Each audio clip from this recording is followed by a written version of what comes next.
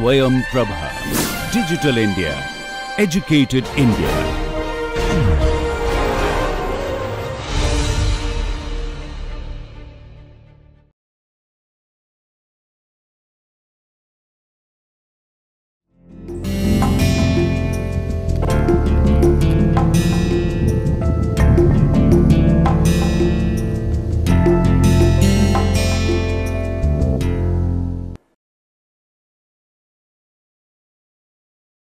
मैं डॉक्टर मयंक प्रताप, सहायक प्राध्यापक, विधि विभाग, काशी हिंदू विश्वविद्यालय वाराणसी से। आज के पाठ्यक्रम का शीर्षक है माल विक्रय अधिनियम।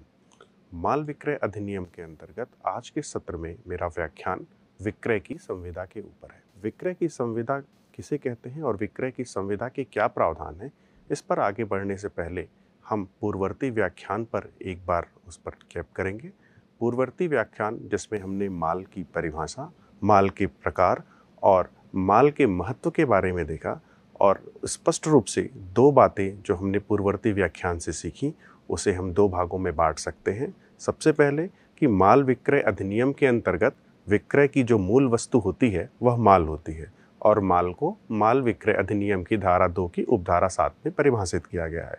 और दूसरी महत्वपूर्ण बात जो हमने पूर्ववर्ती व्याख्यान में देखी थी कि कोई कार्यवाही योग्य दावे अर्थात अनुयोज्य दावा और धन के अलावा हर प्रकार की चल संपत्ति, जिसमें स्टॉक और शेयर भी शामिल है, बढ़ती फ़सलें, घास, ज़मीन से जुड़ी चीज़ें और ज़मीन से आबद्ध ऐसी चीज़ें, जिन्हें बिक्री के पहले बिक्री के लिए, बिक्री के लिए अलग किया जा सकता है, इसे हम माल की परिभाषा में शामिल कर सकते हैं।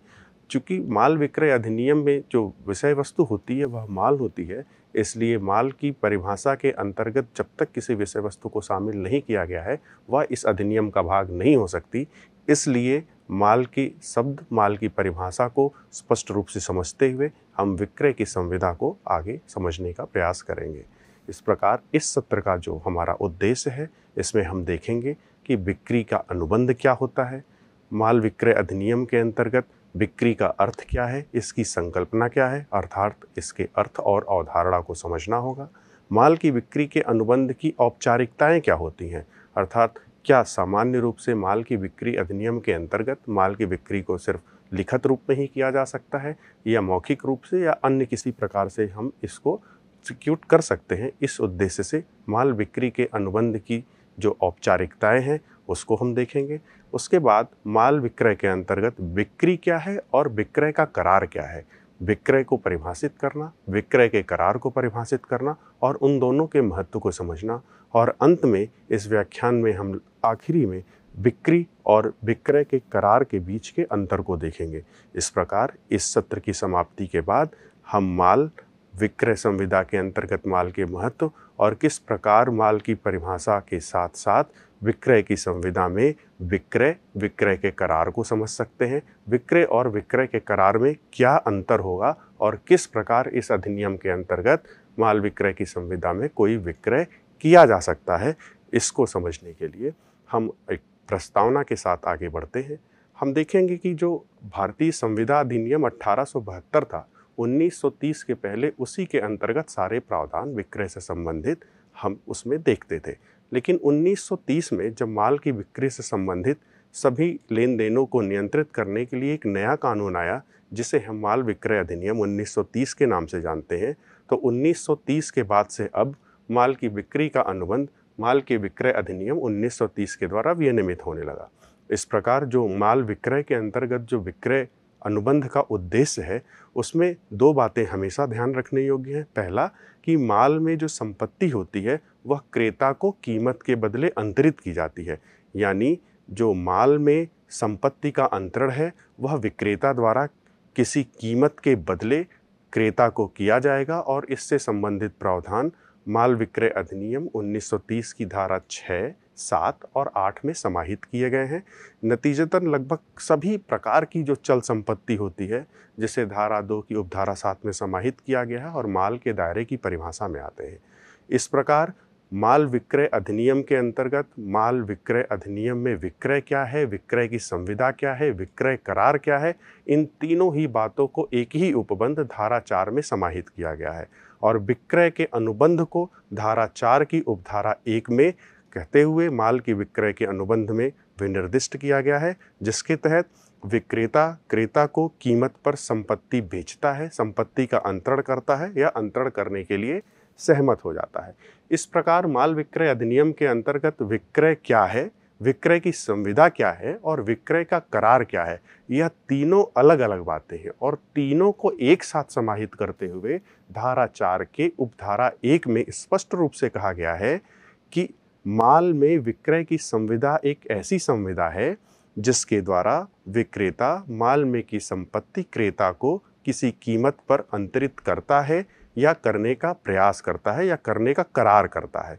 एक भागिक स्वामी और दूसरे भागिक स्वामी के बीच विक्रय की संविदा हो सकेगी। इस प्रकार धारा चार की उपधारा एक में दो बातों का समायोजन है। पहला कि माल के विक्रय की संविदा में विक्रय भी मिलता है और विक्रय का करार देखने को मिलता है। हम जब माल के विक्रय की संविदा को पढ़ते हैं तो धारा चार की उपधारा एक में जो हम दूसरी लाइन पढ़ते हैं, उसमें स्पष्ट रूप से कहा गया है कि माल में की संपत्ति को कीमत पर अंतरित करना या अंतरित करने का करार करना। और जब आप धारा चार की हेडिंग को देखते हैं तो इसमें स्पष्ट है, धारा चार विक्रय की संविदा को बताता है। यानी धारा चार की उपधारा एक स्पष्ट करती है कि विक्रय की संविदा की परिभाषा के अंतर्गत जब विक्रेता द्वारा क्रेता को कीमत के बदले माल का अंतरण करने पर सहमति हो जाती है तो उसको भी विक्रय की संविदा की परिभाषा के अंतर्गत रखते हैं। और दूसरा, जब माल को, विक्रेता को करने के, यानी कि उसको संपत्ति को हस्तांतरण करने के लिए मात्र करार किया जाता है तो उस अवस्था को भी विक्रय की संविदा की परिभाषा के रूप में हम रखते हैं। इस प्रकार धारा चार की उपधारा एक के अनुसार स्पष्ट रूप से विक्रय की संविदा के अंतर्गत ऐसी संविदाएँ आती हैं जिसमें विक्रेता माल में की संपत्ति क्रेता को कीमत पर अंतरित करता है या अंतरित करने का करार करता है। और दूसरी महत्वपूर्ण बात जब हम इसमें देखते हैं, एक भागिक स्वामी और दूसरे भागिक स्वामी के बीच विक्रय की संविदा हो सकेगी, जहाँ एक भागिक स्वामी और दूसरे भागिक स्वामी के बीच में संविदा हो सकेगी। इसका अर्थ है कि फ़र्ज़ कीजिए, यदि किसी वस्तु को दो व्यक्तियों ने मिलकर किसी अन्य व्यक्ति से खरीदा ऐसे में जो बेचने वाला विक्रेता है, उसने किसी कीमत के बदले जब संपत्ति का अंतरण किया तो क्रेता जो कि दो लोग मिल करके आपस में खरीदते हैं, वह दोनों ही व्यक्ति उस वस्तु के सापेक्ष क्रेता हो गए। अर्थात उस वस्तु के सापेक्ष दो व्यक्ति को उन वस्तुओं पर मालिकाना हक प्राप्त हुआ। यानी तकनीकी रूप से दो व्यक्ति मिल करके आपस में किसी वस्तु के मालिक हैं और उस पर अच्छा हक प्राप्त करते हैं। परंतु ऐसी अवस्था आती है कि चूँकि दोनों ही व्यक्ति उस संपत्ति पर या उस माल पर उसके अधिकारी हैं या उसके मालिक हैं तो ऐसे में यदि एक व्यक्ति द्वारा अपने ही दूसरे व्यक्ति, जिस पर दूसरे व्यक्ति को जिसको अधिकार है, यदि माल का अंतरण करना है तो इस अवस्था में क्या होगा कि एक व्यक्ति जो स्वयं क्रेता था, दूसरा व्यक्ति जो स्वयं क्रेता है, उसके द्वारा जब माल का अंतरण होगा तो चूँकि वर्तमान परिदृश्य में भले ही वो क्रेता के रूप में थे, लेकिन अब एक व्यक्ति विक्रेता और दूसरा व्यक्ति क्रेता के रूप में हो जाएगा, जहाँ एक व्यक्ति अपने हिस्से के हक का अंतरण, कीमत के बदले दूसरे व्यक्ति को कर देगा। इस प्रकार तकनीकी रूप से हमने क्या देखा कि दो व्यक्ति जो वास्तव में किसी माल के सापेक्ष दोनों ही क्रेता थे, अब दोनों में से एक क्रेता विक्रेता बन गया और जिस व्यक्ति ने माल के अंतरण के अंतर्गत अपने हक का अंतरण कर दिया, वह विक्रेता और जिसने कीमत के बदले ऐसा अंतरण किया, वह क्रेता बन गया। इसीलिए इसमें लिखा हुआ है कि एक भागिक स्वामी और दूसरे भागिक स्वामी के बीच में भी विक्रय की संविदा हो सकेगी। दूसरी बात, जब हम धारा चार की उपधारा दो में देखते हैं तो इसमें स्पष्ट होता है कि विक्रय की संविदा अत्यांतिक या सशर्त हो सकेगी। विक्रय की संविदा का अत्यांतिक होना या सशर्त होने का तात्पर्य है कि विक्रय की संविदा तुरंत फलीभूत हो सकेगी अथवा उसमें कोई शर्त लगेगी और शर्त के पूरा होने के बाद ही वह करार पूर्ण रूप से विक्रय में बदलेगा। यह इसलिए महत्वपूर्ण है क्योंकि धारा चार में स्पष्ट रूप से कहा गया है कि संपत्ति क्रेता को कीमत पर अंतरित करता है या अंतरित करने का करार करता है। यानी दोनों ही अवस्था संविदा में, विक्रय की संविदा के अंतर्गत माल की विक्रय की संविदा में शामिल है। पहली, जबकि माल के विक्रय में अंतरण कर दिया जाता है। और दूसरा, जब कीमत पर अंतरण करने का करार किया जाता है। यानी जब माल के बदले, संपत्ति में कीमत के बदले संपत्ति का अंतरण कर दिया जा रहा है तो ऐसी अवस्था में धारा चार की उपधारा दो के अंतर्गत दिए गए शब्द विक्रय की संविधा अत्यांतिक लागू होती है और दूसरी तरफ़, जब माल में की संपत्ति का अंतरण भविष्य में किया जाना है या करने का करार करता है, करने का करार का निश्चित रूप से तात्पर्य है कि अभी माल में की संपत्ति का अंतरण नहीं हुआ है, मात्र करार हुआ है कि संपत्ति का अंतरण किया जाएगा तो निश्चित रूप से उस करार को पूरा करने के पहले या तो कोई समय का भाव होगा अथवा कोई घटना होगी जिसके पूरा होने पर या कोई शर्त होगी जिसके अनुसार संपत्ति में माल का अंतरण में संपत्ति को किया जाना है। तो इसीलिए धारा चार की उपधारा दो में विक्रय की संविदा का अत्यंतिक होना या सशर्त होना दोनों ही बातों का उल्लेख किया गया है। इस प्रकार जब धारा चार की उपधारा तीन में आते हैं तो इसमें स्पष्ट है कि जहाँ की माल में संपत्ति विक्रेता से क्रेता को विक्रय की संविदा के अधीन अंतरित होती है वहाँ संविदा विक्रय कहलाती है। किंतु जहाँ की माल में की संपत्ति का अंतरण किसी आगामी समय में या किसी ऐसी शर्त के अध्यधीन होना है, जो तत्पश्चात पूरी होनी है, वहाँ संविदा विक्रय करने का करार कहलाती है। इस प्रकार धारा चार की उपधारा तीन में यह बात स्पष्ट हो गई है कि विक्रय की संविदा के अंतर्गत दो बातें शामिल हैं। पहला, विक्रय की संविदा, और दूसरा, विक्रय का करार। विक्रय की संविदा और विक्रय का करार दो अलग अलग तत्व हैं और दोनों की परिभाषाएँ अलग अलग धारा चार की उपधारा तीन में समाहित की गई हैं। लेकिन धारा चार की उपधारा तीन को प्रारंभ से यदि आप देखें तो इसमें स्पष्ट लिखा हुआ है कि विक्रय की संविदा के अंतर्गत, अर्थात चाहे यह विक्रय हो चाहे यह विक्रय का करार यह दोनों ही तत्व मिल करके विक्रय की संविदा कहलाते हैं।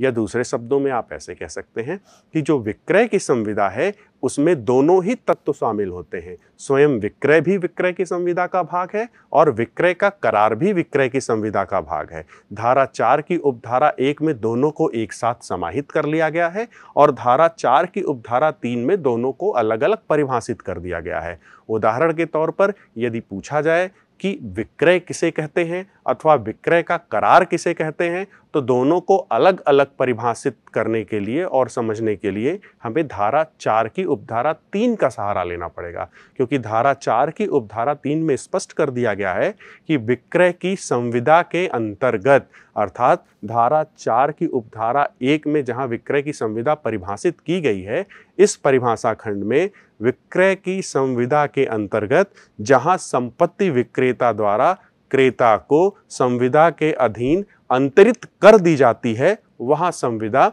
विक्रय कहलाती है। जबकि विक्रय के करार का अर्थ है कि जहाँ माल में की संपत्ति का अंतरण किसी आगामी समय में या किसी ऐसी शर्त के अध्यधीन होना है, जो तत्पश्चात पूरी की जानी है, वह संविदा विक्रय करने का करार कहलाती है। इस प्रकार धारा चार की उपधारा तीन एक महत्वपूर्ण धारा है, जो विक्रय और विक्रय के करार के बीच में अंतर को स्पष्ट करती है। यानी अगर आप सिलसिलेवार तरीके से देखें तो धारा चार पूर्ण रूप से विक्रय की संविदा के आवश्यक तत्वों को बताती है। और धारा चार की उपधारा एक यह स्पष्ट करती है कि विक्रय की संविदा में दोनों ही बातें हो सकती हैं। विक्रय भी हो सकता है और विक्रय के लिए करार भी हो सकता है। और धारा चार की उपधारा तीन में इन्हीं दो बातों को अलग अलग स्पष्ट करके इनके बीच में अंतर स्थापित करने का प्रयास किया गया है। विधायन ने स्पष्ट कर दिया है कि धारा चार की उपधारा एक के अंतर्गत विक्रय की संविदा में विक्रय और विक्रय का करार दोनों ही शामिल है, लेकिन धारा चार की उपधारा तीन के अंतर्गत इस परिभाषा खंड में दोनों के बीच में स्पष्ट अंतर कर दिया गया है कि जहाँ माल में की संपत्ति का अंतरण तुरंत हो जाता है, वह संविदा विक्रय कहलाती है, लेकिन जहाँ माल में की संपत्ति का अंतरण तुरंत ना हो करके किसी शर्त के अधीन है या किसी आगामी समय में होना है, वहाँ जब तक कि वह शर्त पूरी नहीं हो जाती या वह समय नहीं व्यतीत हो जाता, तब तक वह विक्रय नहीं होगा, तब तक के लिए वह विक्रय का करार मात्र रहेगा। इसको और स्पष्ट करने के लिए धारा चार की उपधारा चार को आप देखें तो उसमें बहुत स्पष्ट कहा गया है कि कोई विक्रय का करार विक्रय कर बन जाता है। धारा चार की उपधारा तीन में स्पष्ट जब किया गया, किसी शर्त के अधीन या किसी आगामी समय में, उसी को जब आप धारा चार की उपधारा चार के साथ देखेंगे तो फिर उसी बात को कहते हैं कि आगामी समय के बीत जाने के बाद या किसी शर्त के पूरी हो जाने के बाद विक्रय का करार विक्रय में परिवर्तित हो जाता है। इस प्रकार विक्रय की संविदा, जिसे धारा चार में परिभाषित किया गया है, इसके चार महत्वपूर्ण उपखंड हैं। प्रथम उपखंड में यह परिभाषित है कि विक्रय की संविदा के अंतर्गत विक्रय और विक्रय का करार दोनों ही बातें शामिल होती हैं। क्योंकि विक्रय माल में संपत्ति का अंतरण तुरंत हो जाता है, जबकि विक्रय के करार में माल में की संपत्ति का अंतरण आगामी समय में या किसी शर्त के अधीन होना है, इसलिए यह संविदा आत्यांतिक भी हो सकती है और सशर्त भी हो सकती है। तीसरी बात कि इनको जब हम अलग अलग परिभाषित करने की कोशिश करेंगे या इनके बीच में अंतर स्पष्ट करने की कोशिश करेंगे तो स्पष्ट होगा कि जहाँ माल में की संपत्ति का अंतर तुरंत कर दिया जाना है, यानी जहाँ विक्रय की संविदा अत्यंतिक होनी है, ऐसी संविदा को विक्रय की संविदा के अंतर्गत विक्रय के नाम से जाना जाएगा, जबकि जहाँ किसी आगामी शर्त को पूरा होना है या आगामी समय में किसी विक्रय को आना है यानी कि अभी अत्यंतिक और सशर्त में अभी शर्त पूरी की जानी है, वहाँ पर विक्रय की संविदा के अंतर्गत ऐसी संविदा मात्र विक्रय करने का करार होगी। इस प्रकार संपूर्ण रूप से यह धारा विक्रय की संविदा को बताती है। माल में की संपत्ति में जो अंतरण है या अंतरण करने का करार है, उसको और स्पष्ट करने के लिए अगर हम देखें तो माल विक्रय की संविदा में माल में की संपत्ति का अंतरण या अंतरण करने का करार होना चाहिए। यानी कि विक्रय की संविदा के लिए ज़रूरी नहीं हो कि विक्रय ही हो या विक्रय का करार हो या दोनों हो। दोनों तत्व तो मिल करके माल की विक्रय की परिभाषा को बनाते हैं, लेकिन विक्रय भी हो सकता है और ऐसा विक्रय का करार भी हो सकता है। और संपत्ति का अंतरण माल विक्रय की संविदा का सार है। इसमें महत्वपूर्ण रूप से हमें यह जो ध्यान रखना है कि अभी तक हमने जो पूर्ववर्ती व्याख्यान में देखा था कि माल विक्रय अधिनियम के अंतर्गत विषय वस्तु निश्चित रूप से माल या वस्तु होनी ही चाहिए। और विक्रय की संविदा में अब हमें यही ध्यान में रखना पड़ेगा कि हम जिस वस्तु या माल की बात कर रहे हैं, कीमत के बदले उसका अंतरण होना ही चाहिए। अंतरण का तात्पर्य यहाँ कब्जे के अंतरण से नहीं है, अंतरण का तात्पर्य यहाँ स्वामित्व के अंतरण से है। यानी जब तक कि माल विक्रय अधिनियम के अंतर्गत, विक्रय की संविदा में विषय वस्तु अर्थात माल में की संपत्ति का अंतरण अर्थात इसके स्वामित्व का अंतरण नहीं होगा, तब तक यह माल विक्रय की संविदा के अंतर्गत विक्रय नहीं कहलाएगा। इसलिए कहा जा रहा है कि माल विक्रय संविदा के अंतर्गत संपत्ति का अंतरण ही माल विक्रय की संविदा का सार बनाता है। संपत्ति का अंतरण विक्रेता द्वारा क्रेता को किया जाता है। यानी अंतरण, स्वामित्व का अंतरण तथा माल के कब्जे का अंतरण दोनों ही शामिल है। कभी कभी ऐसा भी हो सकता है कि माल विक्रय की संविदा में माल का अंतरण ना हो, जबकि माल विक्रेता के पास ही रह जाए और स्वामित्व का अंतरण हो जाए। ऐसे में भी यह माल विक्रय की संविदा के अंतर्गत जो संविदा होगी, वह माल विक्रय की संविदा कहलाई जाएगी। क्योंकि इसमें बार बार स्पष्ट किया गया है कि माल विक्रय की संविदा के लिए कब्जे का अंतरण होना आवश्यक नहीं है। इसलिए कोई भी परिस्थिति हो, भले ही माल भौतिक रूप से अभी विक्रेता के पास ही हो, लेकिन यदि उसके स्वामित्व का अंतरण क्रेता को कर दिया गया तो धारा चार के अधीन ये अपनी शर्त को पूर्ण मान ली जाएगी और इसे माल विक्रय अधिनियम के अंतर्गत विक्रय की संविदा की परिभाषा में हम शामिल करते हैं। मात्र माल के एक स्थान से दूसरे स्थान पर अंतरण करने से विक्रय नहीं होता है, क्योंकि कब्जे का अंतरण यहाँ महत्वपूर्ण नहीं है। सेल्स टैक्स ऑफिसर नौगांव बनाम timber and fuel corporation Tikamganj के बाद में जंगलों से एक ठेकेदार ने बड़ी मात्रा में लकड़ी मध्य प्रदेश राज्य से उत्तर प्रदेश में भिजवाई। जब मध्य प्रदेश राज्य में वहाँ के जो राज्य के कर अधिकारी ने उस पर बिक्री कर लगाया, परंतु जैसे ही वह टिम्बर मध्य प्रदेश से उत्तर प्रदेश में आया, उत्तर प्रदेश में पुनः कर अधिकारी द्वारा वहाँ उस लकड़ी पर कर लगाने की कार्रवाई की गई। न्यायालय में इसके बारे में यह तर्क प्रस्तुत किया गया कि क्या विक्रय है और इस पर विक्रय का करार और विक्रय के अंतर्गत इस पर विक्रय कर का अधिरोपण किया जाना है। परंतु उस पर विक्रय करके कर लगाने के लिए कार्यवाही को न्यायालय ने उचित नहीं माना और यह कहा कि मध्य प्रदेश से उत्तर प्रदेश तक लकड़ी ले आना मात्र विक्रय नहीं हुआ। क्योंकि विक्रय होने के लिए दो पक्ष, एक विक्रेता और दूसरा क्रेता होना चाहिए और विक्रेता द्वारा क्रेता को माल में की संपत्ति का अंतरण होना चाहिए। मात्र कब्जे का एक स्थान से दूसरे स्थान पर ले जाने से यह माल की संविदा में माल विक्रय की संविदा के अंतर्गत यह विक्रय की संविदा नहीं होती है। तो बहुत स्पष्ट है कि मात्र कब्जे का अंतरण या माल के एक स्थान से दूसरे स्थान पर ले जाने की प्रक्रिया को विक्रय की संविदा में हम शामिल नहीं करते हैं, जब तक कि इसमें माल में की संपत्ति का अंतरण नहीं किया जाता। इसी प्रकार ईस्ट इंडिया होटल्स लिमिटेड, बनाम भारत संघ में, जब कोई व्यक्ति होटल में खाने के लिए ऑर्डर देता है, तथा सूची में जो अंकित मूल्य है उसका भुगतान करता है तो यह मान लिया जाएगा कि विक्रय हुआ है। यह तर्क कहीं से संतोषप्रद नहीं है कि भोजन किया गया है, भोजन पूरा किया गया है अथवा भोजन आंशिक किया गया है। क्योंकि जैसे ही कीमत के बदले संपत्ति का अंतरण हुआ, विक्रय पूर्ण हो गया, उस विक्रय के बाद उस वस्तु का, उस माल का प्रयोग किस रूप में और कहाँ किया जा रहा है, यह कहीं से भी महत्वपूर्ण नहीं रह जाता है। मेसर्स हिमाचल फ्लोर लिमिटेड बनाम। भारत संघ के बाद में यह निर्णय दिया गया कि जब तक क्रेता को माल पर पूर्ण स्वामित्व नहीं प्राप्त हो जाता है, तब तक क्रेता और विक्रेता के मध्य हुए संव्यवहार को विक्रय नहीं माना जाएगा। यानी कि विक्रय कहलाने के लिए हमने धारा चार की उपधारा तीन में भी देखा कि विक्रय कहलाने के लिए माल में की संपत्ति का अंतरण होना ही चाहिए। यानी कि जब तक विक्रेता द्वारा दिए गए माल पर क्रेता को पूर्ण स्वामित्व नहीं प्राप्त होता है, तब तक उस समव्यवहार को विक्रय नहीं माना जा सकता। गवर्नमेंटल मेडिकल स्टोर डिपार्टमेंट, बनाम स्टेट ऑफ़ वेस्ट बंगाल में केंद्रीय सरकार द्वारा अपने ही विभागों को दवा सामग्रियाँ बेची गई। और यह तर्क दिया गया कि जब केंद्रीय सरकार द्वारा विभागों को दवा की सामग्री बेची जा रही है तो इसे विक्रय की परिभाषा में रखना चाहिए और इस पर विक्रय का अधिरोपण होना चाहिए।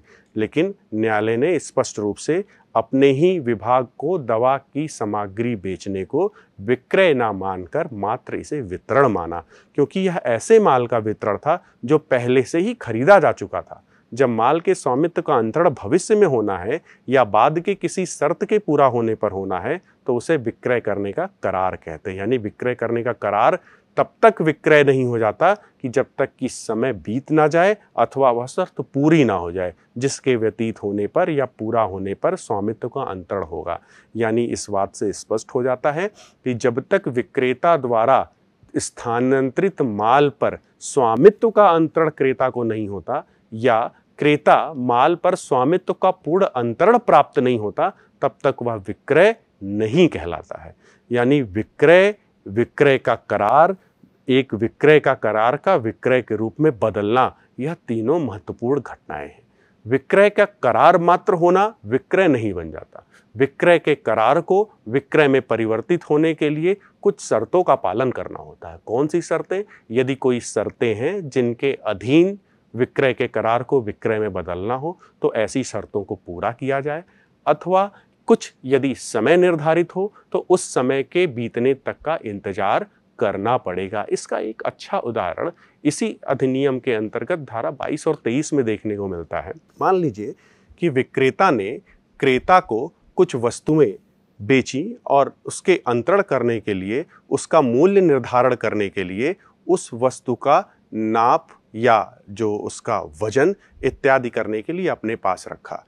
यानी कि जब तक कि उसके मूल्य निर्धारण के लिए उस वस्तु का, जिसका नाप तोल करना है, नाप तोल नहीं हो जाता है, तब तक की संपत्ति का अंतरण, स्वामित्व का अंतरण नहीं होगा। यानी कि मात्र जब तक विक्रेता द्वारा, क्रेता को माल के संपत्ति का अंतरण करने के लिए, माल के मूल्य का निर्धारण करने के लिए एक शर्त रखी गई कि इसका नाप तोल किया जाना ज़रूरी है। तो नाप तोल किया जाना एक ऐसी शर्त है जिसके पूरा होने पर ही यह जो करार है, यह विक्रय में परिवर्तित होगा। इस प्रकार यदि करार में स्वामित्व के अंतरण के लिए कोई भी शर्त लगाई गई हो तो उसके पूरा होते ही विक्रय का करार विक्रय में परिवर्तित हो जाता है। अब हम देखते हैं कि विक्रय की अनुबंध के अंतर्गत कौन कौन से आवश्यक तत्व हैं जो विक्रय की संविदा का गठन करते हैं। बहुत सारी विशेषताएँ हैं जो माल में विक्रय के किसी भी अनुबंध के लिए आवश्यक तत्व होते हैं। जैसे दो पक्षकारों का होना, विषय वस्तु के रूप में माल का होना, कीमत का निर्धारण, स्वामित्व का अंतरण तथा विक्रय के वैध अनुबंध के अधीन जो हमारी अनिवार्यताएँ हैं। इसमें विक्रय और विक्रय अनुबंध दोनों ही शामिल है यह हम धारा चार से स्पष्ट कर चुके हैं। यानी कि इस प्रकार किसी भी विक्रय की संविदा के अंतर्गत जो महत्वपूर्ण आवश्यक तत्व हैं, जिनके पूरा होने पर ही विक्रय की संविदा का गठन होगा, उसमें दो पक्षकारों का होना ज़रूरी है, माल का होना ज़रूरी है। माल क्या होता है? पूर्ववर्ती व्याख्यान में हमने स्पष्ट रूप से इसको देखा कि माल ही वह विषय वस्तु है, जो इस संविदा के अंतर्गत माल विक्रय की संविदा में विक्रय की संविदा के गठन का काम करती है। कीमत के बदले चूँकि संपत्ति का अंतरण होता है, जिस प्रकार एक सामान्य संविदा में पहले प्रस्तावना होती है और उस प्रस्तावना की स्वीकृति के बाद प्रतिफल का लिया जाना होता है। उसी प्रकार माल विक्रय की संविधा के अंतर्गत प्रतिफल के रूप में हमें कीमत को समझना होगा, क्योंकि कीमत के बदले ही संपत्ति में, माल में संपत्ति का अंतरण किया जाता है। और तीसरी महत्वपूर्ण बात कि स्वामित्व का अंतरण, क्योंकि अभी हमने कुछ वाद विधियों को देखा, जिससे स्पष्ट हो गया कि माल में कब्जे का अंतरण महत्वपूर्ण नहीं है, बल्कि स्वामित्व का अंतरण होना चाहिए। इस प्रकार जब तक स्वामित्व का हस्तांतरण नहीं होगा, तब तक विक्रय अनुबंध की आवश्यक शर्तें पूरी नहीं होंगी। इसके अलावा विक्रय की जो वैध अनुबंध की आवश्यक अनिवार्यताएँ होती हैं, अर्थात भारतीय संविदा अधिनियम अठारह सौ बहत्तर में किसी संविदा के पूर्ण होने के लिए जो आवश्यक शर्तें हैं, उन शर्तों का पालन किया जाना चाहिए। बिना इन शर्तों के आवश्यक पालन की पूर्ण हुए बिना विक्रय अनुबंध की आवश्यक तत्व या आवश्यक शर्तें पूरी नहीं मानी जाएँगी। तो अब हम इसमें जो दिए गए आवश्यक तत्व हैं, हम उसको एक एक करके थोड़ा विचार करने की कोशिश करते हैं। जैसे जो प्रथम शर्त हमने देखी, दो पक्षकारों का होना। निश्चित रूप से किसी भी संविदा में मिनिमम या कम से कम दो पक्षकार अवश्य होते हैं। उन दो पक्षकारों को जब हम भारतीय संविदा अधिनियम में बताए गए सिद्धांत को हम इस अधिनियम में रखते हैं तो निश्चित रूप से वो दोनों पक्षकार यहाँ पर एक विक्रेता के रूप में और दूसरा क्रेता के रूप में कह जाएँगे। चूँकि यह माल विक्रय की संविदा का अधिनियम है, जहाँ माल की विक्रय या माल में की संपत्ति का अंतरण हो रहा है तो ऐसे में एक व्यक्ति खरीदार होगा और दूसरा व्यक्ति विक्रेता होगा। इसीलिए स्पष्ट इस रूप से विक्रेता और क्रेता को इस अधिनियम के अंतर्गत परिभाषित भी कर दिया गया है। यानी माल की बिक्री के लिए कम से कम दो पक्ष होने चाहिए विक्रेता और खरीदार। धारा दो की उपधारा एक के तहत क्रेता को परिभाषित किया गया है और स्पष्ट किया गया है कि क्रेता का अर्थ है ऐसा व्यक्ति जो सामान खरीदता है अथवा माल खरीदता है या खरीदने के लिए सहमत हो जाता है। और बिल्कुल उसी तरह विक्रेता को धारा दो की उपधारा तेरह के अंतर्गत परिभाषित करते हुए कहा गया है कि एक व्यक्ति जो माल बेचता है या बेचने के लिए सहमत हो जाता है। इन दोनों ही परिभाषाओं में, चाहे वो क्रेता हो, चाहे विक्रेता, जो आवश्यक रूप से हमको दिखाई पड़ता है, वह यह कि खरीदना और खरीदने के लिए सहमत होना अथवा बेचना और बेचने के लिए सहमत होना। क्योंकि आप जब धारा चार में विक्रय की संविदा देख रहे हैं तो विक्रय की संविदा में स्पष्ट है कि विक्रय की संविदा में विक्रय भी हो सकता है और विक्रय का करार भी हो सकता है, यानी अत्यांतिक भी हो सकती है और सशर्त भी हो सकती है। इसका मतलब कि जो विक्रेता है, वह तुरंत बेचने पर सहमत हो गया है और सशर्त होने का मतलब भविष्य में बेचने के लिए सहमत हुआ है। इसी प्रकार जो क्रेता है, वह तुरंत खरीदने के लिए सहमत हो गया है या भविष्य में उसका स्वामित्व प्राप्त करने के लिए सहमत हो गया है। इसीलिए इन दोनों ही बातों में सामंजस्य बनाए रखने के लिए, अधिनियम में विशेष तौर पर खरीदने और खरीदने के लिए सहमत होना, बेचने और बेचने के लिए सहमत होना जैसे शब्दों का प्रयोग किया गया है। एक उदाहरण के रूप में जब हम देखते हैं, मान लीजिए मिस्टर ए, जिनकी किराने की कोई दुकान है या कोई किराने की दुकान का मालिक है, यदि अपने ही परिवार के किसी व्यक्ति को जो बिक्री के लिए रखे गए अपने स्टॉक में माल है, उससे कोई आपूर्ति करता है तो क्या यह विक्रय माना जाएगा? चूँकि यह विक्रय की राशि नहीं है और कोई विक्रय का अनुबंध इसमें नहीं दिखता है, इसलिए यह विक्रय का या विक्रय नहीं माना जाएगा, क्योंकि इसमें दो पक्षकार में एक विक्रेता और एक क्रेता स्थापित नहीं हो रहे हैं। लेकिन मान लीजिए कि यदि यही दुकानदार किसी अन्य व्यक्ति को, जो उसके घर का व्यक्ति नहीं है, कीमत के बदले संपत्ति का अंतरण करता है, तब ऐसे में उसके द्वारा माल को बेचना या माल में की संपत्ति का अंतरण करना विक्रय के अनुबंध में शामिल हो जाता है। लेकिन यह ज़रूरी नहीं है कि हमने जो इस उदाहरण में देखा कि एक व्यक्ति द्वारा अपने घर के ही किसी व्यक्ति को माल में की संपत्ति का अंतरण करना, अपने स्टॉक से सामान का देना, कभी किसी भी रूप में संविदा के अंतर्गत विक्रय हो सकता है अथवा नहीं, क्योंकि यह इस बात पर निर्भर करता है क्या कीमत के बदले संपत्ति का अंतरण हुआ है। अर्थात यदि घर का कोई सदस्य ही कीमत के बदले उस संपत्ति के अंतरण को प्राप्त करता है तो ऐसे में वह संविदा हो जाएगी और उसे माल विक्रय की संविदा के अंतर्गत माना जाएगा, क्योंकि इसकी आवश्यक शर्त में प्रथम शर्त एक पक्षकार क्रेता और दूसरा पक्षकार विक्रेता के रूप में स्थापित हो जाएँगे। कभी कभी ऐसा भी हो सकता है कि दो व्यक्ति मिल करके किसी वस्तु पर संयुक्त स्वामित्व प्राप्त करते हैं। मान लीजिए ए और बी संयुक्त रूप से एक टेलीविज़न सेट के मालिक हैं तो ए टेलीविज़न सेट में अपना स्वामित्व बी को अंतरित करता है जिसे बी सामान का एकमात्र मालिक बन जाए और उसके लिए उसने कीमत का अंतरण कर दिया। तो ऐसे में संयुक्त स्वामित्व होते हुए भी दो व्यक्ति एक दूसरे के लिए क्रेता और विक्रेता होंगे। इसका स्पष्ट उल्लेख धारा चार की उपधारा एक में भी किया गया है। विक्रेता और खरीदार के मामले में एग्रीकल्चर कमेटी बनाम सालीमार केमिकल के वाद में न्यायालय ने स्पष्ट किया कि विक्रय की संविदा में दो बातें महत्वपूर्ण हैं। पहला, कि कोई भी संविदा द्विपक्षी हो, यानी कि संविदा में कम से कम दो पक्षकार हों, निश्चित रूप से एक पक्षकार विक्रेता और दूसरा पक्षकार क्रेता होगा। और दूसरी बात कि विक्रय की संविदा सहमतिपूर्ण होती है। अर्थात विक्रय की संविदा में जब भी संविदा होगी तो वह सहमति पूर्ण होनी चाहिए। वैसे भी जो संविदा के आवश्यक तत्व हैं, उसमें सहमति का होना एक आवश्यक तत्व संविदा की वैध आवश्यकता को निरूपित करता है। इसी प्रकार गुजरात राज्य में नाम रामलाल के बाद में, एक फर्म के विघटन के बाद जो कुछ संपत्ति बची उस पर बिक्री कर को लेकर बिक्री कर अधिकारी द्वारा कर लगाने का मामला सामने आया। अब प्रश्न था कि यदि किसी फर्म के विघटन के बाद कोई संपत्ति बचती है और भागीदारों को आपस में बांटा जाता है तो क्या इसे विक्रय माना जाए अथवा नहीं? क्योंकि विक्रय कर लगने के लिए यह स्पष्ट होना चाहिए कि कोई भी करार जो विक्रय है, वह विक्रय की संविदा के अंतर्गत विक्रय की परिभाषा में शामिल होता है। तो प्रश्न न्यायालय के सामने था कि किसी फर्म के विघटन के बाद संपत्ति को जो बंटवारा है, भागीदारों के बीच में करना, या विक्रय होगा अथवा नहीं होगा। इस में जस्टिस भगवती ने स्पष्ट रूप से कहा कि जो भागीदार होते हैं, भागीदार ही फर्म का निर्माण करते हैं। यानी फर्म का अपने भागीदारों से अलग कोई विधिक अस्तित्व नहीं होता है, बल्कि भागीदार ही मिलकर फर्म का निर्माण करते हैं। जब हम साझेदारी अधिनियम की धारा चार को देखते हैं तो उसमें स्पष्ट रूप से कहा गया है कि साझेदारी दो या दो से अधिक व्यक्तियों के बीच का पारस्परिक संबंध है।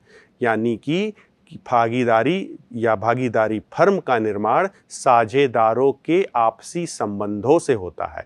जैसे कि किसी कंपनी में जब कंपनी का निर्माण होता है तो कंपनी अपने सदस्यों से अलग हो जाती है और कंपनी का एक विधिक अस्तित्व हो जाता है। यानी कंपनी जब अपने सदस्यों से अलग होती है तो ऐसे में कंपनी में सदस्यों के द्वारा कंपनी में यदि किसी संपत्ति का अंतरण किया जाना है तो हम दो अलग अलग पक्षकार मान सकते हैं, क्योंकि कंपनी के सदस्य कंपनी से अलग माने जाते हैं, यह कंपनी की चारित्रिक विशेषताएँ हैं। लेकिन भागीदारी में ऐसा नहीं हो रहा है। भागीदारी में जो भागीदार होते हैं या भागीदारी फर्म के सदस्य होते हैं, वो स्वयं आपस में मिलकर साझेदारी का निर्माण करते हैं। इसलिए जब फर्म के सदस्यों में फर्म की संपत्ति को बांटा जा रहा है तो यह मात्र बंटवारा होगा, ना कि माल में संपत्ति का अंतरण किसी विक्रय के रूप में होगा। इसलिए जस्टिस भगवती ने स्पष्ट रूप से कहा कि भागीदार स्वयं माल के सह स्वामी थे, इसलिए इस पर विक्रय कर का अधिरोपण नहीं किया जा सकता। इसी प्रकार एक और महत्वपूर्ण बात, ग्राफ बनाम इवान क्लब में देखने को मिलता है, जहाँ सदस्यों ने निश्चित मूल्य पर शराब का वितरण किया। इस स्वाद में एक फर्म, एक सोसाइटी का निर्माण किया गया था, जिसमें कुछ सदस्य आपस में मिल करके शाम को उस क्लब में शराब या शराब के सेवन के लिए आपसी तौर तरीकों में धन का बंटवारा करके या धन इकट्ठा करके उस क्लब को चलाते थे, जिसमें एक व्यक्ति जो केयर टेकर के रूप में मौजूद था, उसके द्वारा अपने सदस्यों को शराब का वितरण किया जाता था और शराब परोसी जाती थी, लेकिन यह भी तथ्य है कि शराब के वितरण या शराब परोसे जाने के बदले वह मूल्य भी प्राप्त करता था। अब यह अभिनिर्धारित किया जाना था कि क्या हम इसको विक्रय माने अथवा विक्रय नहीं मानेंगे।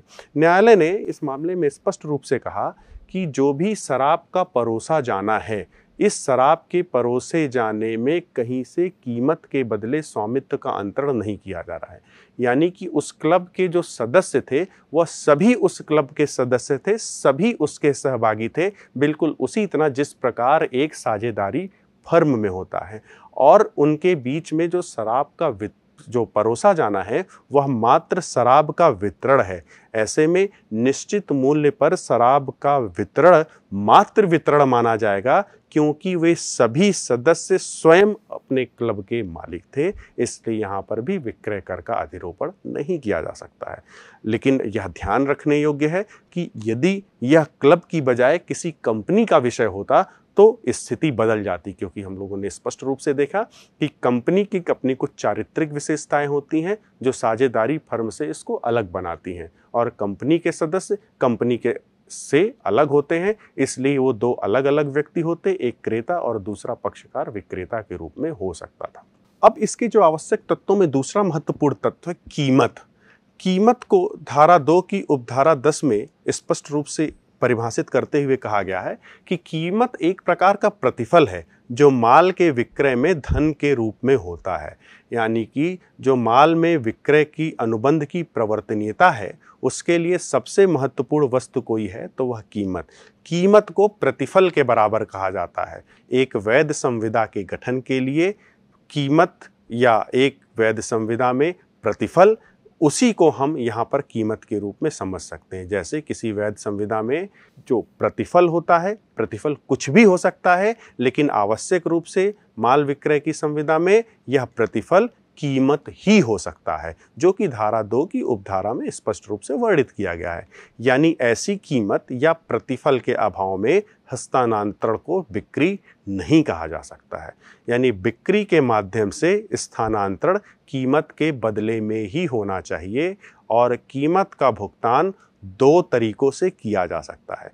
कीमत का भुगतान पूरा भुगतान या तो नगद में हो सकता है अथवा आंशिक भुगतान हो सकता है या भविष्य में आंशिक भुगतान करने का वादा किया जा सकता है। क्योंकि कीमत का प्रतिफल के रूप में अंतरण होना है, यह महत्वपूर्ण है, तुरंत होना है, यह बाद में होना है, यह महत्वपूर्ण नहीं है और धारा चार से भी यह स्पष्ट है कि संविदा के अंतर्गत संविदा भी हो सकती है और संविदा करने का करार भी हो सकती है। कीमत के महत्वपूर्ण आवश्यक तत्व के रूप में हम इसको हम एक विशेष आधार के रूप में भी समझ सकते हैं, क्योंकि प्रतिफल के रूप में कीमत ही वह वस्तु है जो विक्रय, विनिमय और उपहार में अंतर का आधार बनाती है। यानी कि विक्रय की संविदा के अंतर्गत विक्रय तभी माना जाएगा जब किसी विक्रय में विक्रेता द्वारा क्रेता को जब माल में की संपत्ति का अंतरण किया जाए तो क्रेता द्वारा बदले में प्रतिफल के रूप में उसे कीमत या धन का संदाय होना है। जब तक कि प्रतिफल के रूप में, कीमत या धन के रूप में संदाय नहीं होगा, यह विक्रय की परिभाषा में नहीं आएगा। उदाहरण के लिए मान लीजिए कि यदि आपने एक पक्षकार को विक्रेता, दूसरे पक्षकार को क्रेता कहा। विक्रेता ने किसी माल में की संपत्ति का अंतरण अगर क्रेता को किया और क्रेता ने उसमें कीमत के बदले कोई दूसरी वस्तु विक्रेता को दे दी। तो ऐसे में यहाँ पर वस्तु के बदले वस्तु का अंतरण होगा, ना कि कीमत के बदले वस्तु का अंतरण होगा। तो ऐसी अवस्था में अब यह विक्रय ना हो करके विनिमय कहलाने लगेगी। और उसी प्रकार मान लीजिए कि संपत्ति के अंतरण के बाद क्रेता द्वारा कोई प्रतिफल नहीं दिया जाता है और उसकी स्वीकृति की जाती है तो हो सकता है हम इसे उपहार का नाम दे दें, लेकिन हम इसे विक्रय नहीं कह सकते। इसलिए यह भी कहा जा सकता है कि कीमत वह तत्व है जो विक्रय, विनिमय और उपहार में अंतर का आधार बनता है और विक्रय होने के लिए निश्चित रूप से प्रतिफल कीमत के रूप में ही हो सकती है। अब कीमत कैसे निश्चित की जाएगी? कीमत क्या होगा? या किसी भी संपत्ति के अंतरण, माल में की संपत्ति के अंतरण के समय क्या कीमत तुरंत दे है? या कितनी दे है, इसके लिए हमको धारा नौ को स्पष्ट रूप से समझना होगा। धारा नौ कीमत अभिनिश्चित करने के बारे में प्रावधानित करती है। धारा नौ के अंतर्गत किसी विक्रय की संविदा में किस प्रकार से जो कीमत है, उसका अभिनिश्चय किया जाए, उसकी व्याख्या करती है। जिसमें मूल रूप से तीन प्रकार से इसको व्याख्यायित किया गया है। सबसे पहला उपखंड जो इसका है, स्वयं संविदा द्वारा माल की कीमत पक्षकारों के मध्य हुई संविदा द्वारा निश्चित की जा सकती है। यानी कि संविदा के जो पक्षकार हैं, वह आपस में संविदा द्वारा ही कीमत का जो परिकल्पना है या कीमत का निश्चितीकरण है या कीमत का अभिनिश्चयकरण है, वह कर सकते हैं। यानी ऐसी स्थिति में दोनों ही पक्षकारों के मध्य कोई भी परेशानी नहीं होती है, कोई भी दुविधा नहीं होती है कि कितनी कीमत दी जाएगी, क्योंकि निश्चित रूप से या संविदा के अंतर्गत दोनों पक्षकारों ने आपसी सहमति से तय कर लिया होता है। जबकि एक तरीका ऐसा भी होता है कि जहाँ पक्षकारों द्वारा नियत रीत के अनुसार कीमत का वितरण किया जाना है या कीमत का निर्धारण किया जाना है, यानी कीमत को वाद में निश्चित करने के लिए छोड़ दिया जाता है।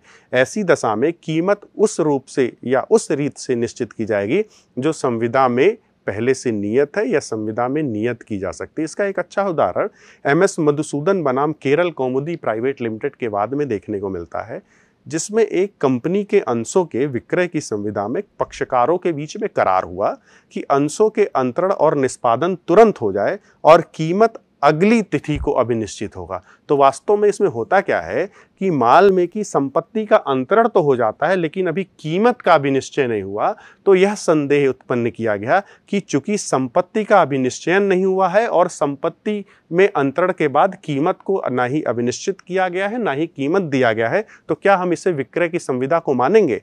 न्यायालय ने स्पष्ट किया कि जब भी किसी स्पेसिफाइड या निर्दिष्ट रीत से या किसी नियत रीत से कीमत की निर्धारण को छोड़ दिया जाता है तो वह भी संविदा में संविदा का भाग होती है और संविदा पर कोई प्रभाव नहीं डालती।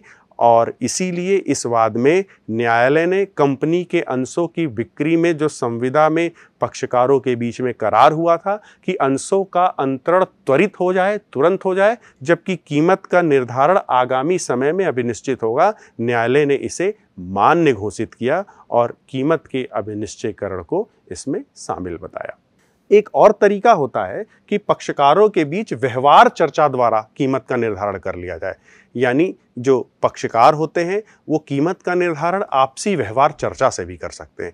जैसे जब पक्षकार संविदा में ना तो माल की कोई कीमत स्पष्ट करता है और ना ही उसके कीमत के अभिनिश्चयकरण के लिए कोई रीति होती है, ना ही इस पर कोई नीति निर्धारित होती है तो इस अवस्था में कीमत का अभिनिश्चय कैसा हो, इसके लिए इसकी उपधारा तीन में स्पष्ट किया गया है कि आपसी परिचर्चा द्वारा, जिसमें क्रेता और विक्रेता मिल करके व्यवहारिक चर्चा से उसकी कीमत का अभिनिश्चयन कर सकते हैं, जैसे J C L international limited बनाम, भारत पेट्रोलियम निगम प्राइवेट लिमिटेड के बाद में सिलेंडरों के आदान प्रदान की संविदा की गई। और दोनों ही पक्षकारों को ज्ञात था कि निर्धारित मूल्य अस्थायी है, क्योंकि यह सिलेंडर जिस स्टील से बनाया जाता है, उसकी कीमत निश्चित नहीं है। उसकी कीमत में उतार चढ़ाव होते रहते हैं। इसमें कुछ शर्त लगाई जा सकती है, कीमत गिर भी सकती है, कीमत बढ़ भी सकती है। इस प्रकार हर बार कुछ ना कुछ इसमें शर्त लग जाती है और इसे अंतिम मूल्य नहीं माना जा सकता। इसलिए यह एक अस्थायी कीमत है। इसका तात्पर्य था कि मूल संविदा के अनुसार मूल्य निश्चित करके निर्धारित किया जाएगा। और जो उचित कीमत होती है, जहाँ की कीमत जो अभी तक जो तरीके बताए गए हैं कि जिन तरीकों से आपसी व्यवहार से या संविदा के अंतर्गत या किसी रीत द्वारा कीमत का भी निश्चयन करना है, इन तीनों ही माध्यम से यदि संविदा में जो कीमत है वह अवधारित नहीं की जाती है तो वह कीमत एक युक्त युक्त कीमत होगी। और युक्त युक्त कीमत क्या होगी? यह एक तथ्यगत प्रश्न होता है, जो प्रत्येक अलग अलग मामलों में या किसी विशिष्ट मामलों में उस मामले की परिस्थितियों पर निर्भर करता है। अर्थात स्पष्ट रूप से धारा नो यह कहती है कि माल में की संपत्ति का अंतरण के बदले जब भी कीमत दिया जाना है तो कीमत का अभिश्चयन करने के लिए कोई निश्चित तरीका नहीं है, जबकि कुछ विभिन्न तरीके हैं जिनके द्वारा कीमत का अभिनिश्चयन किया जाना है और धारा नौ में उन सभी तरीकों को स्पष्ट रूप से बताया गया है और यह भी स्पष्ट कर दिया गया है कि बताए गए तरीकों से भी यदि कीमत का अभिनिश्चयन नहीं हो रहा है तो कीमत एक युक्त युक्त कीमत के रूप में दी जा सकती है। अगले महत्वपूर्ण तत्व को हम जब देखते हैं तो स्वामित्व के हस्तांतरण की बात होती है। क्यों? क्योंकि जब हम धारा चार की उपधारा एक को पढ़ते तो इसमें स्पष्ट रूप से कहा गया है कि माल में की संपत्ति का अंतरण किया जाना। तो माल में की संपत्ति का क्या अर्थ है? प्रकृति के आधार पर संपत्ति दो प्रकार की होती है, एक सामान्य संपत्ति और दूसरी विशेष संपत्ति। माल की बिक्री के अनुबंध की विषय वस्तु संपत्ति से संबंधित है। अर्थात ऐसे अनुबंध की प्रवर्तनीयता के लिए विक्रेता से खरीदार को विशेष संपत्ति का हस्तांतरण होना चाहिए।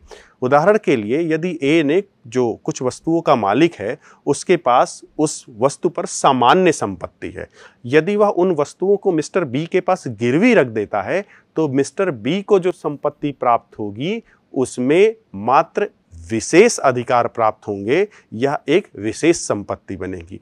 बहुत साधारण तौर से हम ऐसा समझते हैं कि स्वामित्व विभिन्न प्रकार के अधिकारों का मिश्रण है।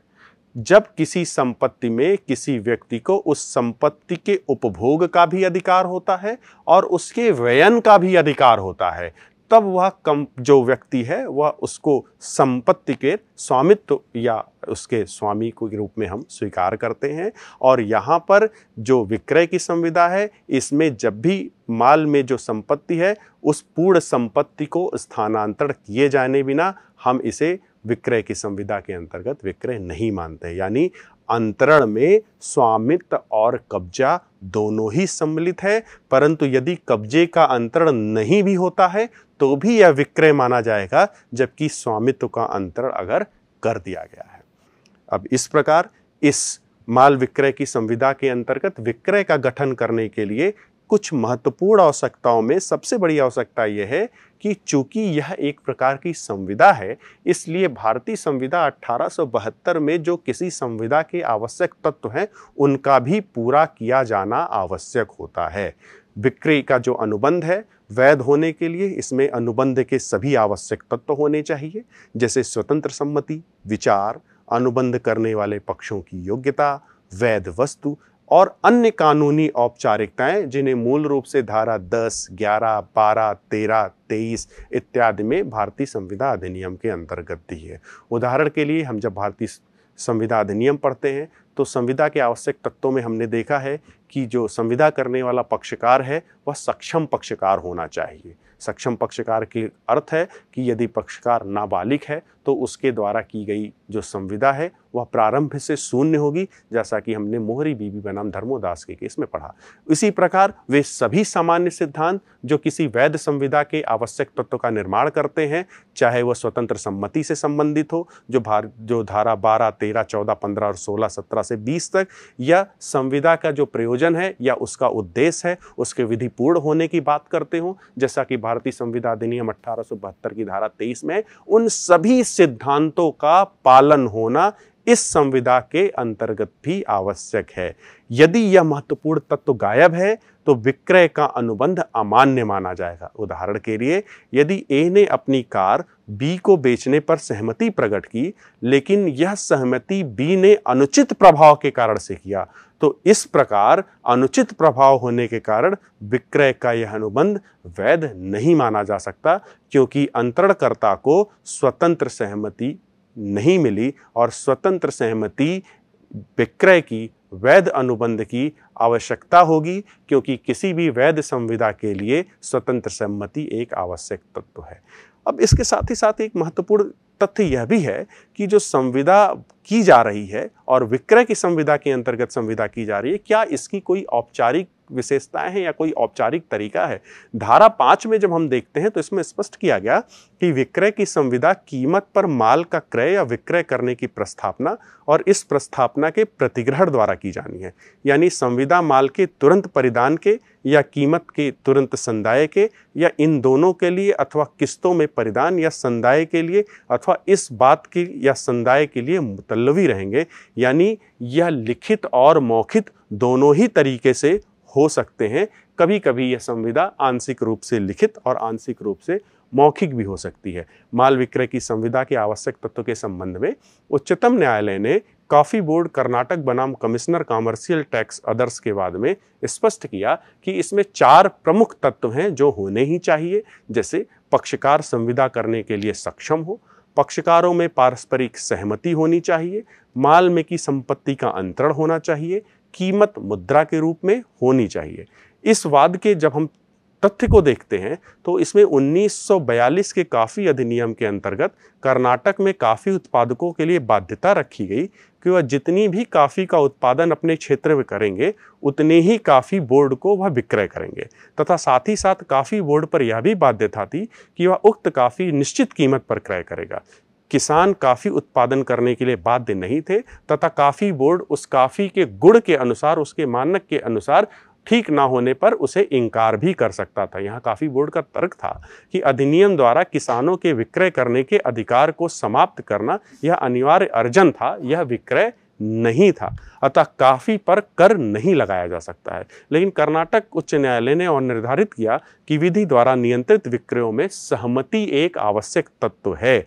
यदि एक बार सहमति का तत्व है तो माल विक्रय अधिनियम के अंतर्गत वह विक्रय की परिभाषा में माना ही जाएगा तथा उस पर क्रय या विक्रय कर लगाया जा सकता है और उच्चतम न्यायालय ने भी इस मत पर अपने विचार रखे और विक्रय के उपयुक्त तत्व प्रस्तुत संविधान में चूँकि संव्यवहार में थे, इसलिए इसे विक्रय माना गया। अब यह प्रश्न उठता है कि विक्रय और विक्रय के करने का करार क्या है? जहाँ की माल में की संपत्ति विक्रेता से क्रेता को की जाती है, संविदा के अधीन वह स्तरित की जाती है, वहाँ संविदा विक्रय कहलाती हमने धारा चार की उपधारा तीन में देखी। लेकिन जहाँ माल में की संपत्ति का अंतरण किसी आगामी समय में या किसी ऐसी शर्त के अधीन किया जाना है और शर्त को पूरी की जानी है, वहाँ संविदा विक्रय करने का करार कहलाती है।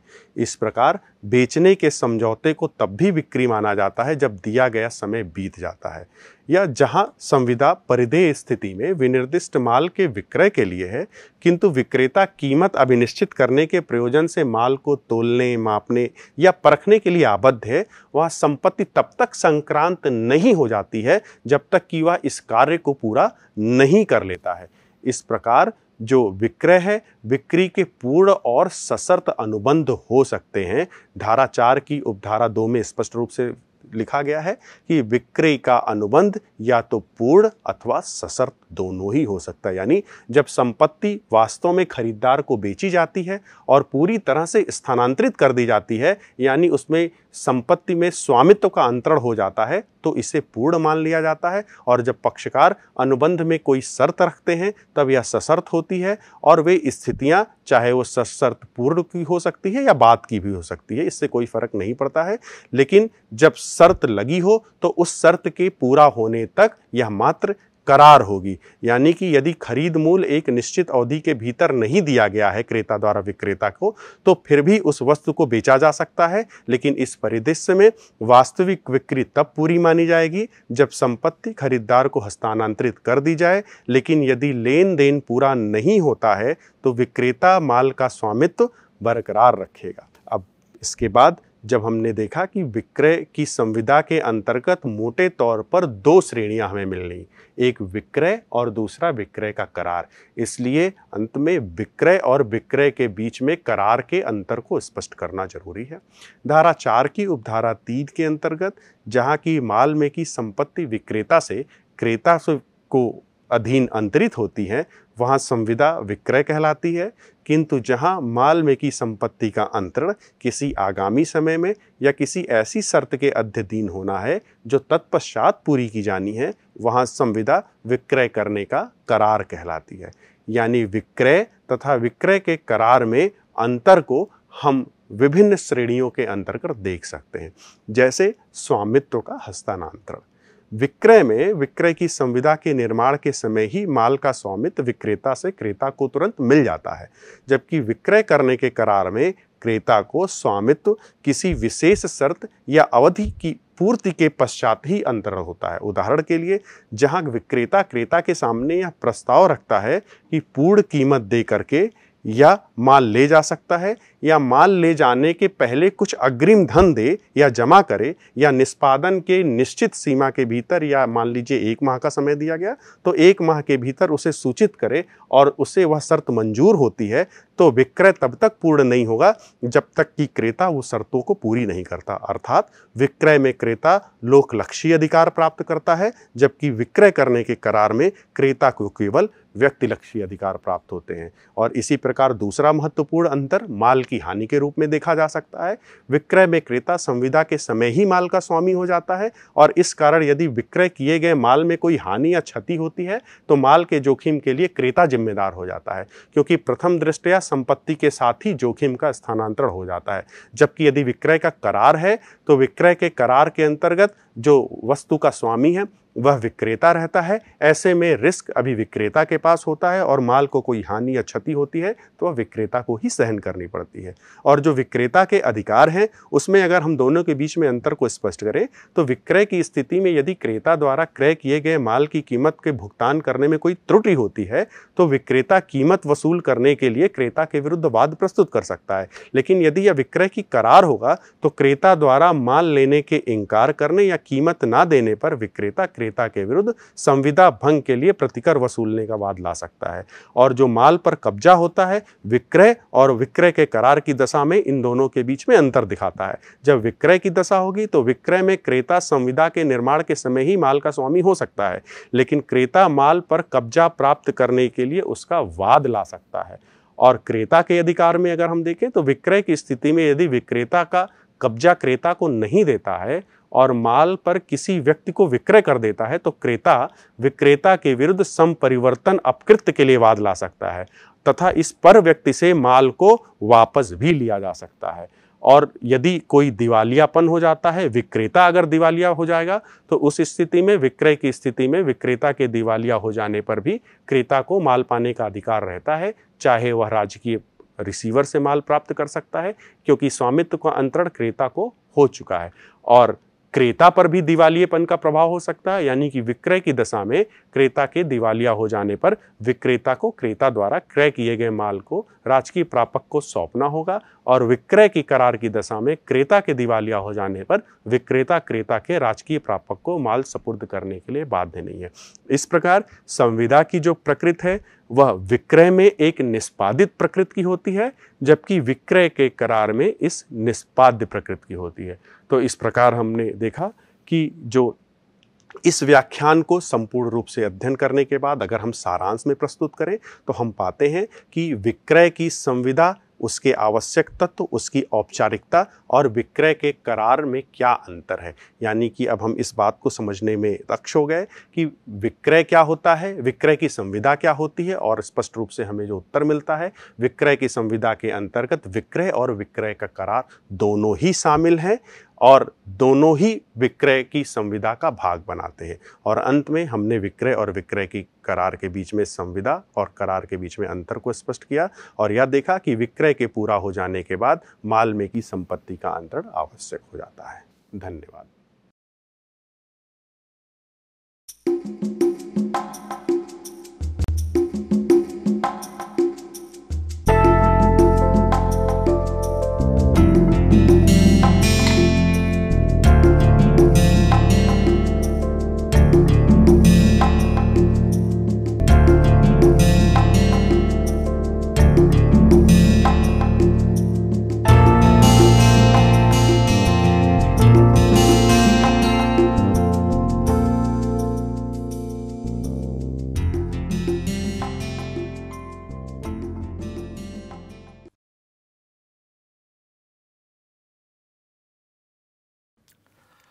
Hello and welcome to this piece of literary snippet. Perhaps the most popular literary genre after novel is the short story. Sharp, compact narratives whose charm lies not only in what is said, but also in what remains unsaid. Today I will be reading one of the shortest instances of a short story that I have ever encountered. And indeed the very charm of this particular story that I am going to read out today lies in the way it abruptly ends. It is an ancient tale from Mesopotamia which has been retold by several authors among whom the name of Somerset Maugham stands out. Uh, the adaptation that I will be reading out is perhaps the closest to the one that Maugham wrote. The story is titled in all of its adaptations almost as Appointment in Samarra. Here is the story. A merchant in Baghdad once sent one of his servants to the market. The servant was supposed to buy provisions for the merchant, but when he returned, he came back empty handed. Indeed, the servant had all gone white, and trembling with fear, he told his master that he had met death in the marketplace. When I entered the market, the servant said to his master, I was jostled by a woman, and when I turned to look at her, I saw that she was death. I am very scared, master, because death looked at me with a threatening gesture. Can you please lend me your horse so that I can fly away from Baghdad to the town of Samarra and thereby escape death? The master, being a good man, gave his servant his best horse and saw him gallop off to Samarra to escape death. Then the master himself went to the marketplace and confronted death. Why did you make a threatening gesture to my servant? asked the master to Death. And Death replied, It was not a threatening gesture. Rather, it was a start of surprise. I was astonished to see your servant here today because this evening I have an appointment with him in Samara. See you in the next episode of Literary Snippet.